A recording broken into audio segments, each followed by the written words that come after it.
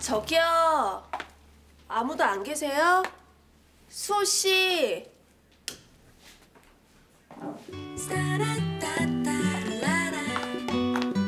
이게 다 뭐예요?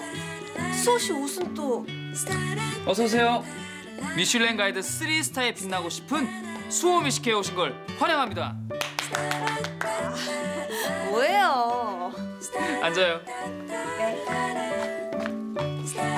내가 한 거는 된장찌개랑 계란말이 뿐이에요. 나머진 참모님들이 만든 반찬.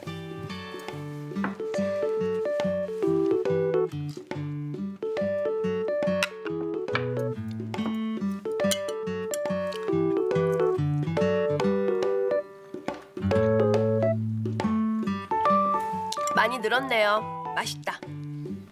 정말요? 요리 교실에서 처음 만들었던 음식 생각해 봐요.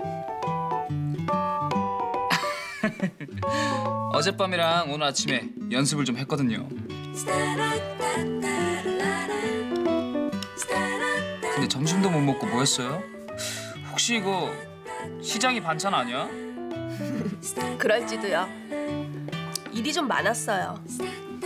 다음엔 더 업그레이드 해줄게요. 기대할게요.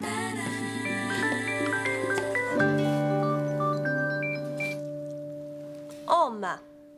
어디야? 언제 들어오니? 어, 잠깐 친구 좀 만나고 있어요. 서둘러 들어와. 할 얘기 있어.